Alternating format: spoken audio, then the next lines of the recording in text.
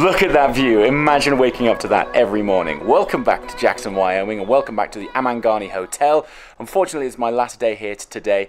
Last night, when we arrived back at the hotel, you couldn't see any of this. It was super stormy and overcast, but it turns out overnight, that storm dusted those mountaintops with some snow, which is perfect timing because today I'm catching an aerial experience to discover Jackson, Wyoming from the sky. Let's hit it.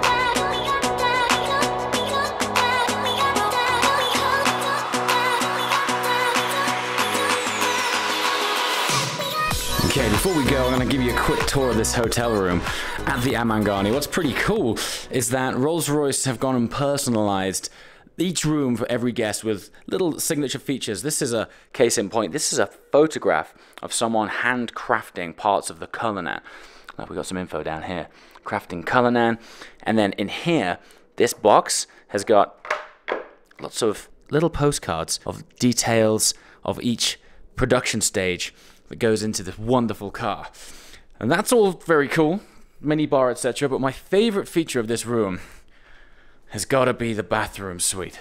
I mean, not only is it just super cozy and warm with all this rich wood, but my favorite feature has got to be this bath. Not because of the bath, because of this view. Check this out. Imagine having the bath. If I just pull on that, open this, that is the view you have outside from the bath. It is absolutely stunning. You can see over the entire area of Jackson, all the way up to the mountains, which have been lightly dusted with snow overnight. A shower in there, which also, by the way, shares the same view. It is super cool.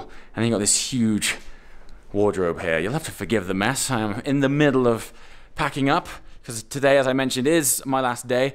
And here is the massive double bed, which also shares that same incredible view. This place is really special. And one more really cool feature. Check out the fireplace. One button on. How awesome is that? I gotta tell you, I did actually put this on last night. it was getting a little bit cool, and just to be able to have that to warm up your room is such a nice feature.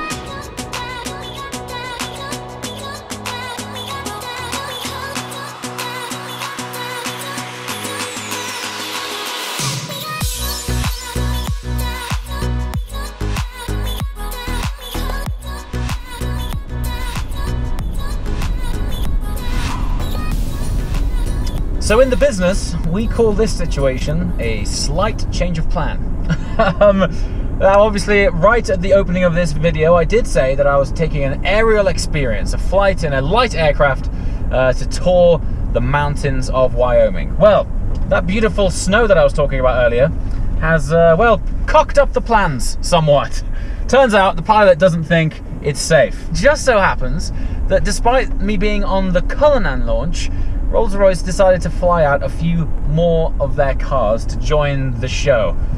Hence me conveniently being sat in the Rolls-Royce Dawn black badge. And it's the black badge which I'm really interested in.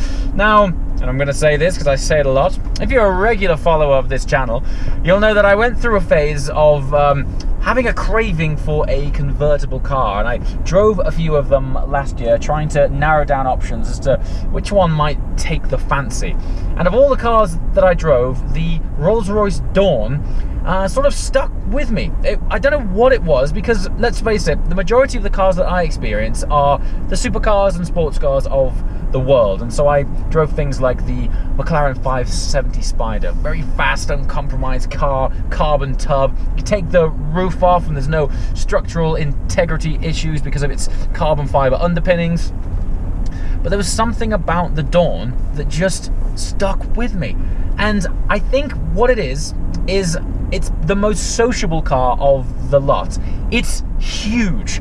The idea for me of taking along three of your mates with the roof down in a car of this majestic nature just appeals to me so much. I think because this isn't designed to be the last post of performance and it's more about just cruising along and enjoying the environment you're in.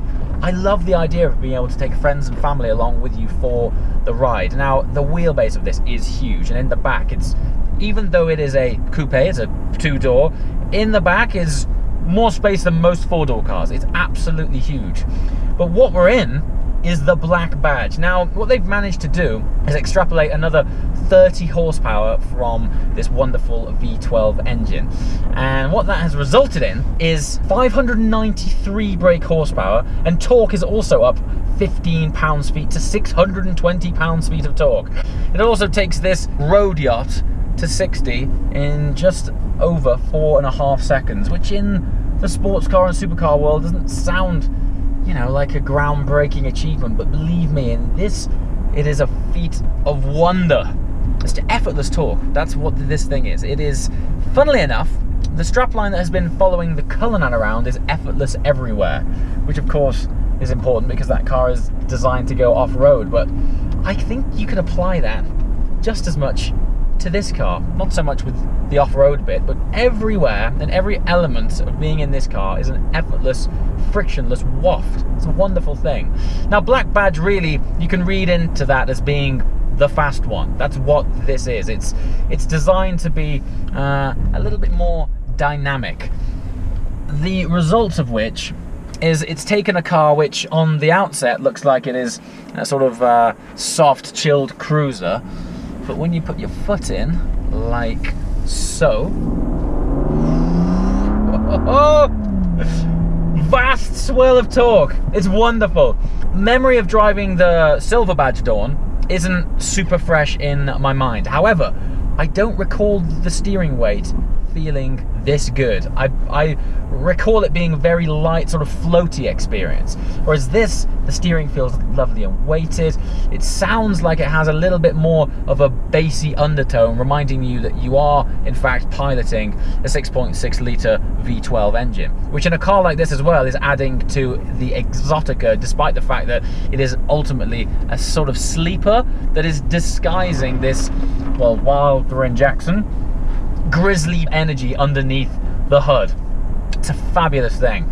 And the black badge as well comes with some really unique interior details. When you're in it, they've elevated. I mean, and I never thought this would be possible because when you sit in a Rolls Royce, the last thing you think is they need to improve the interior on these things. They're, they're, they're incredible. Everything is like being in a sort of Linley showroom. That's what they're like. But with this, they've uh, applied this more sort of contemporary, dare I say it, sportier edge. It kind of reminds me of Pagani's Carbotanium. There's subtle features, like the chrome isn't as chromy it's a dark chrome. It's like a smoked chrome, and it's sort of taken that traditional edge off what the silver badge is and applied this contemporary feel to it. And that was the whole point of the black badge. Rolls-Royce very cleverly cottoned on to the fact that younger audiences were interested in the cars, and when they eventually got their hands on them, they would take them out of the Rolls-Royce domain and have them fettled and fondled and tuned by third parties, which is completely fine. But if you want to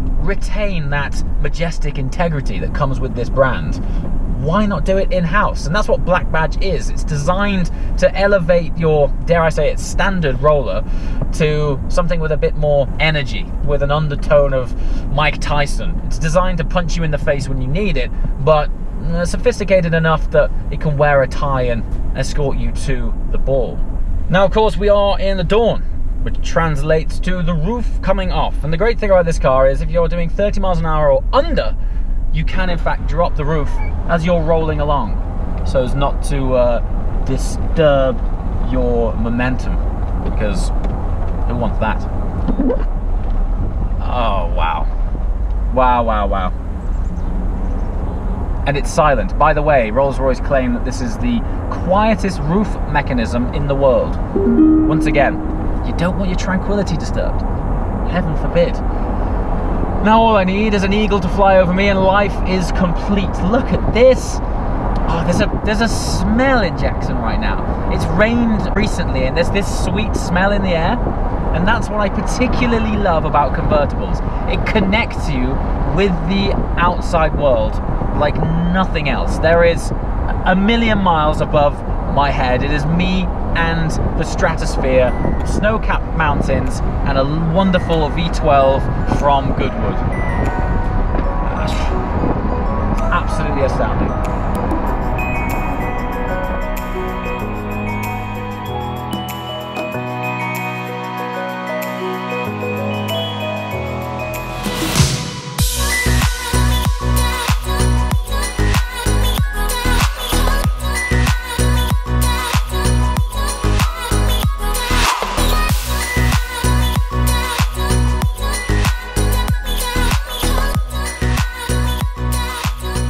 Okay, well, I can honestly say this has been one of the best journeys I've ever had. It's been it's been very short but incredibly sweet. The Amangani Hotel is out of this world. If you're ever, for whatever reason, coming to stay in Jackson, Wyoming, check out the Amangani. Now, unfortunately, I have to head home. I got to go back on a plane. I've got three transfers to, to get from here back to the UK. Uh, on the way here, it was like a 24-hour round trip, but uh, conveniently, I now get to get chauffeured back to the airport, I believe, in this very car, so could be worse. Basically, things keep changing on this event. I'm not getting uh, in the plane, and I was going to be in a, in a Dawn, but now we are in the Cullinan with Hello. a familiar face. How's it going? It's good. How's It's your, your event been? Oh, it's The lazy, better. I love lazy door. It's the, I'm going to try it myself. Let's this out. I mean, you could get used to that. Look at that, automated doors. There we go. so, magic. what do you think, man? It's been good. Well, what can one say, right? We aren't used to what basically three day launch events. No, normally it's a kind of turn up, drive, depart. This Yeah. has been an opportunity to completely, I guess, take in the whole atmosphere of Yeah. Rolls Yeah. Royce, the cars, the Cullinan, drive it on different days, different experiences. Yeah.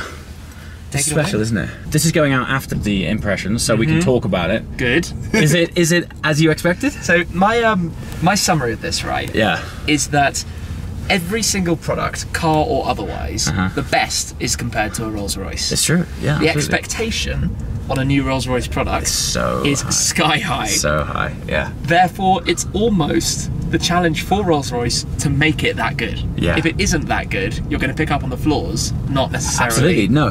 Hundred percent. I was actually a little bit nervous first Yeah. driving this because it's one thing them launching a new car of a similar platform. Yeah. Going into a completely different market, completely Yes. different style of car, doing an SUV or shall I say high-sided vehicle, um, was was like you know my expectations were are they going to be able to pull this off? Yeah. And I, what I loved about the event was the amount of time we spent off-road. That was really Yeah, cool. yeah, yeah, definitely. Blasting down the dirt tracks, That was incredible, the tracks through the trees, Yeah. and then the, the ski slope side of things.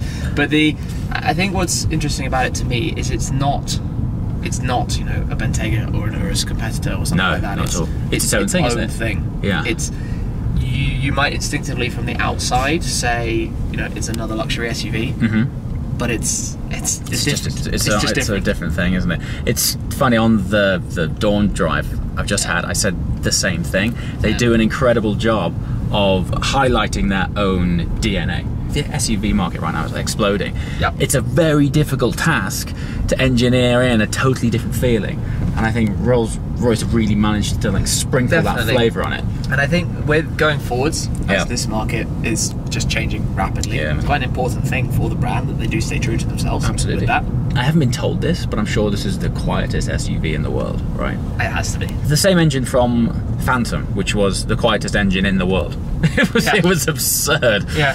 The, Yeah. The, the, the difficulty almost is that well, two, twofold. You walk around a car that's running and you don't realise it's running because you can't hear the thing. Yesterday, And the other thing is- I turned my car off, thinking it was Yeah, exactly. thinking it, we go. thinking it was ready to turn on. I turned it off. Exactly what I meant. And the other thing I did yesterday was Paul was in the car with music blasting out ridiculously loudly. Yeah. I'm filming the car from the outside with no idea. I open the door and I'm like, what? Hit by this massive wave of audio. Yeah. like, where did that come from? Because the sound deadening's so good. No, it's cool. Oh, one comes, the dawn comes the other way. That's also a black badge, I think, right? Yeah, yeah. super cool. But the, uh, yeah, here's a, here's a funny fact. So, the supercars that you and I more regularly find ourselves in, Mm. the likes of a 720S, or Yeah. 675, Yeah. this is more than double the weight of one of those. Wow. It's big It's, it's thing. absurd, isn't it? Yeah, Right. Big heavy thing when you think about that rolling along. the Yeah. road. What I love though is they play it as one of their strengths how they're so proud of adding like another 100 kilograms of sound deadening into a car. You know what I mean? It's like Yeah, the yeah, ethos yeah. is so d- different. And then it's it's when talking about the uh, the architect architecture of luxury. Yeah. There's like there's a, a section which doesn't have sound deadening. Where sound deadening could be added. Yes. But it acts as a, a, a subwoofer for the speaker. That's right, the, yeah. The opening in the, it's very chassis. cool. My favorite line of the whole event was the designer of the exterior of the car um, talking about the uh, genteel taper. Yes. that is my favorite Really? line of all time. The genteel taper of the bodywork. Only Rolls Royce could get away with such terminology. Yeah, Alex, Alex is fantastic. Yeah, it's cool. Anyway, to the airport.